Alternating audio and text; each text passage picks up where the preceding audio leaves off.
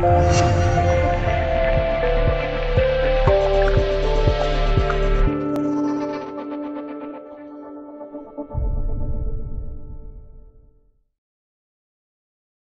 艇普遍的一个问题就是眼神不太好，毕竟是长期蛰伏水下，在黑暗中穿行的家伙。虽然有声呐和雷达，但总会受到各种各样海洋环境的干扰，所以无论是潜艇之间，还是和水面舰船，都有一定可能撞上。水面上的舰船算是视野宽阔，算是设备充分了吧？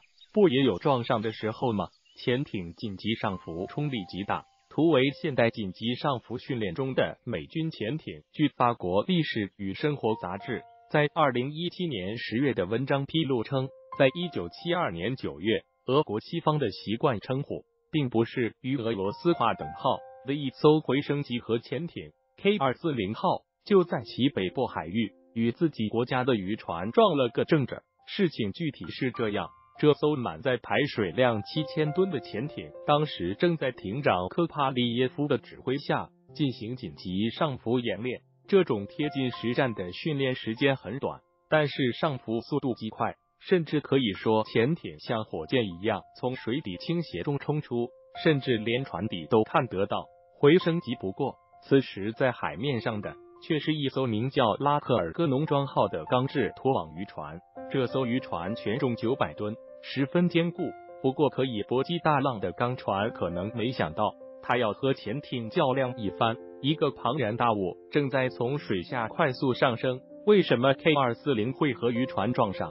这个问题后来的调查也没给出百分之百的答案。一个可能是海洋复杂环境的干扰。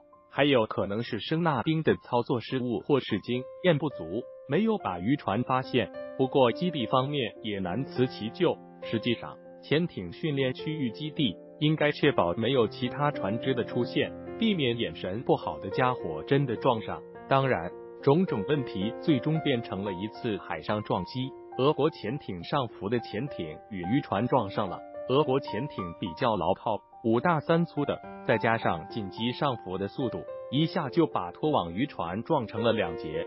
这艘渔船迅速沉没，三十多名船员被大浪卷走，再也没找到。甚至于这艘倒霉渔船的名字，都是在后来通过大概航线和失踪船只名单确认的。俄国钢制拖网渔船，不过毕竟是一艘有点吨位的钢船，这潜艇再坚固，自己这么一撞也受伤不轻。整个艇首严重损毁，随后大量进水，也幸亏其前部的鱼雷管没有装上鱼雷，否则很可能被撞爆，那可就后果严重了。不过艇身中部发射管内的巡航导弹却在剧烈的震动中发生燃料泄漏，早期的舰载导弹的燃料并不成熟，性质不稳定，随即引发火灾。不过好在扑救及时得力，虽有多人受伤，但起码没有发生爆炸。最终，这艘潜艇在大量进水的情况下，挣扎着返回了港口，也幸亏航行距离。